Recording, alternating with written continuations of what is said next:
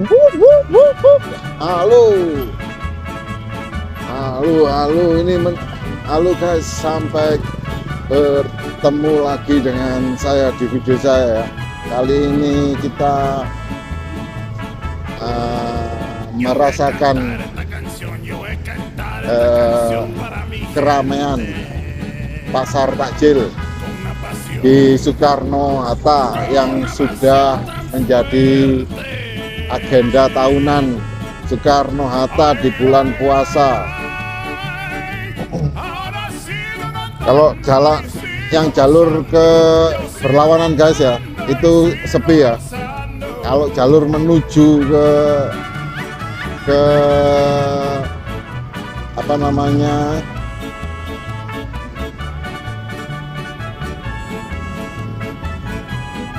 pasar takjil di Soekarno Hatta yang tepatnya center senternya ada di itu loh. Taman Krida Krida Budaya Jawa Timur. Nah, di situ dibuat sentranya pasar takjil. Oh ya Soekarno Hatta adalah kawasan kawasan mahasiswa ya kawasan universitas-universitas baik negeri maupun swasta ya. Jadi kalau pasar takjil ya di daerah sini wah pasti ramai.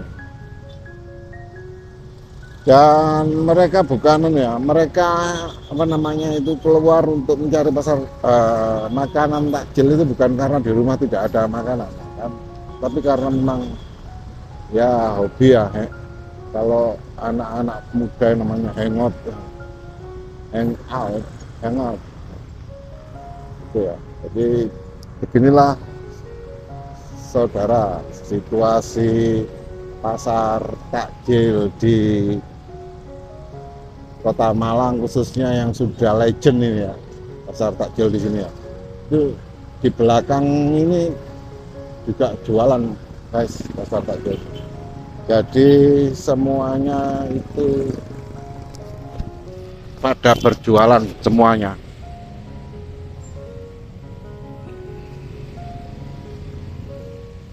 Oke guys kita tengok-tengok orang yang bertak eh, berbelanja takjil. Senang saya kalau banyak orang yang membeli daya daya belinya bagus.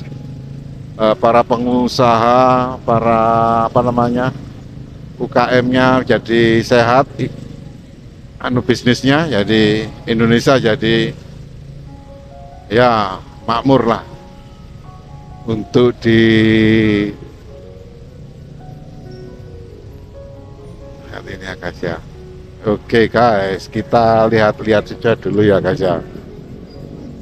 Ya banyak guys yang saya sebetulnya mau turun tapi kita lihat-lihat saja dulu sementara yang ada di daerah sini guys. Jadi lihatlah antusiasnya.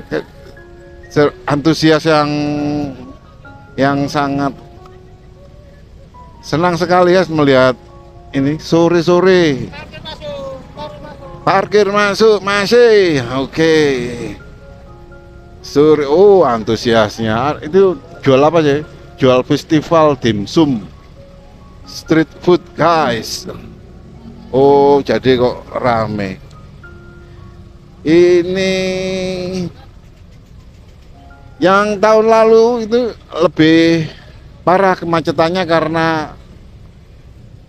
banyak yang apa namanya parkir di badan jalan ya. Tapi sekarang sudah ditertibkan jadi ramai tetap tapi lancar kendaraannya ya guys tidak tahu siapa saja ya yang pada sore hari ini berbelanja untuk takjilnya ya.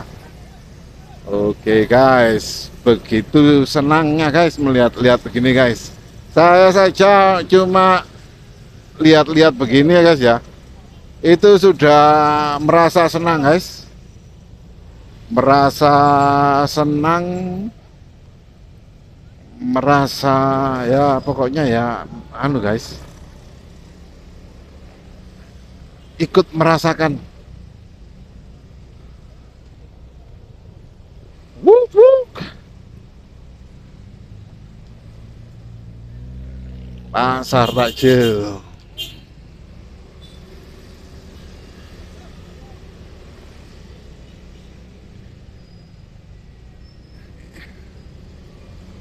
ini sudah menjauh dari sentra jadi ya agak sepi ya guys.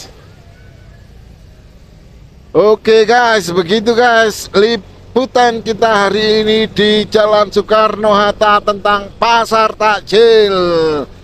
Lain kali kita sambung lagi guys. Oke guys kita ketemu lagi di video yang akan datang